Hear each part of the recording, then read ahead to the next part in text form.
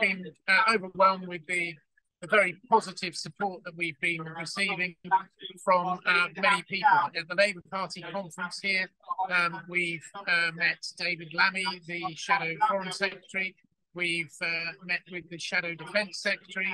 We've met with many, many MPs who are great supporters of the Falklands, many of whom have visited the Falklands, and a large number of potential uh, parliamentary candidates here who all wish to express their support for the rights of the people of the Falklands to uh, self their self determination.